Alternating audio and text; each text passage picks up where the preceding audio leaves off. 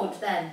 No, well, but uh, uh, mile and a half. You know the the, the broad road there where you would from uh, refer across. There's a wheel road, narrow road up that way. But Yeah. mile and a half up that way.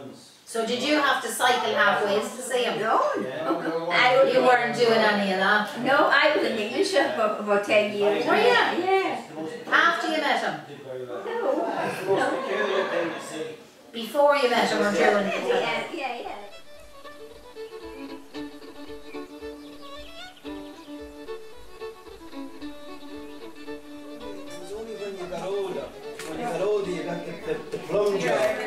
Was actually doing a shift and actually physically filling the bottle. Oh, right. Because you always used to get a tip Yeah. Sorry, Yeah. and you'd slip it into your welly. So then you'd be walking out like this, but then, Rotten. but then you were cute enough because the first year, Mammy said, well, how did you do? Oh, great, Mum, I got five pounds.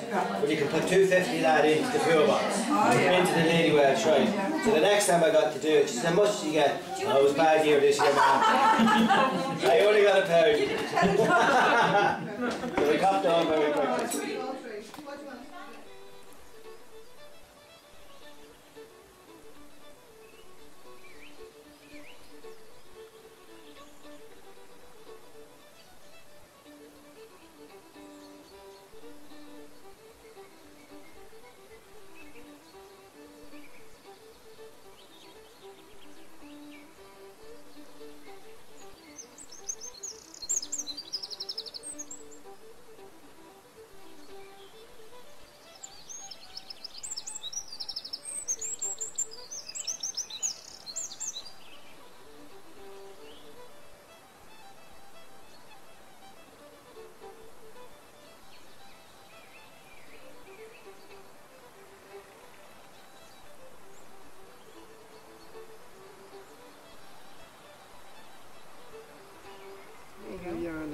No, I knew Pat well.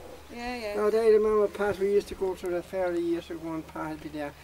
Pat had a watch, I never saw the next of it, with a, a gun on it, waving back and forth. A gun on it.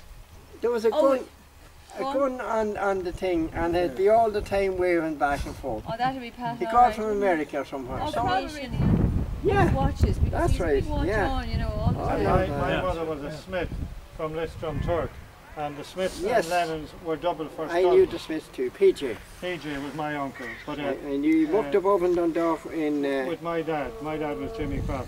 oh, no, darling. But, but uh, Awesome. More than you gathered. yeah, Would you believe when I bought a, a van of them? bet you did. Why wouldn't Back you? in the 60s, Yeah. P. P. Lennon, or P. S- P.J. Smyth was a salesman, And Patsy Smyth and Patsy. was also working together. And uh, so I knew P.J. well, and, and I remember he was down here in Magheracloone somewhere, and met him, and I was telling him, come on upstairs here, we'll give you a good. And he satisfied. Part of the story that we didn't tell earlier that uh, uh, might be of interest is that Jimmy Crosson met uh, the mother, Molly Smyth, in McGee's shop in Carter Carter, right? yeah, He was yeah. delivering the mails and delivering the newspapers Yes, on yeah, a that contract wee shop above at uh, McGee. beside the right. church. Alice on the. McGee, yeah. So Yeah. he, he was he was chatting her up obviously as he was delivering the mails Yeah. there.